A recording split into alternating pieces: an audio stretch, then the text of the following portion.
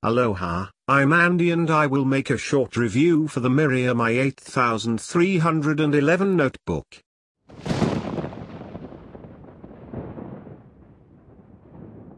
I hope my video will be helpful in deciding if it's worth to spend your money for this notebook.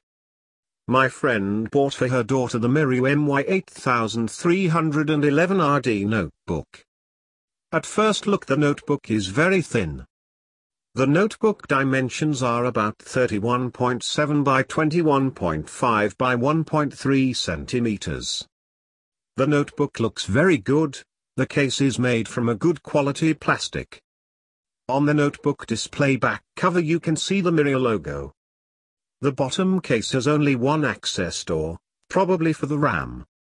The legs are made of rubber and are nearly 2 millimeters tall. If you want to disassembly you have to remove the 12 screws. On the bottom case you can see the notebook model name, power supply specification, serial number, the manufacture country and of course is made in China. On the right side is one 3.0 USB port, one 3.5mm audio output and one microSD card reader. On the left side is one 3.0 USB port, the power supply plug and one mini-DMI port. The notebook is fanless, so it will run very quietly. And now let's see the specifications, the display is a 13.3-inch Full HD 1920 by 1080 pixel IPS display and the display came with an applied screen protector. The keyboard came with English layout, in case of damaging the keyboard, you will have to replace the whole top cover with the touchpad. The power button is on the keyboard. The hard disk drive is a 32GB SanDisk eMMC hard disk drive.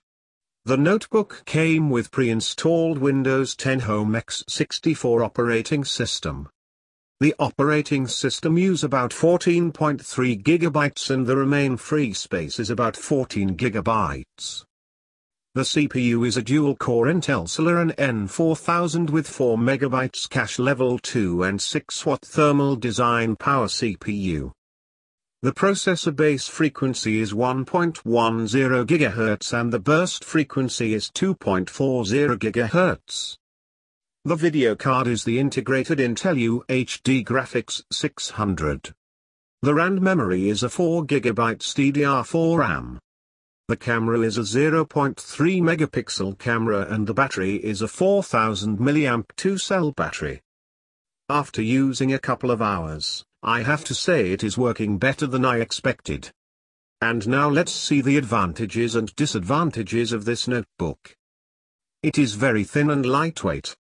Because it's very thin, might broken easily has a lower 6 watts TDP CPU with integrated VGA chip which can play 1080p videos. It's not suitable for new games. 2-cell 4000 mAh battery. Built-in battery. Fast 32GB eMMC hard disk drive, the HDD has only 14GB free space. In my opinion this notebook is a good choice to work in MS Office, listen music, watch 720p, 1080p videos on YouTube, internet browsing, sending emails, learning and because of his size and his weight you can take with you anywhere. In my next video, I will do a quick benchmark for this notebook. Thanks for watching, don't forget to share, comment, like, and subscribe.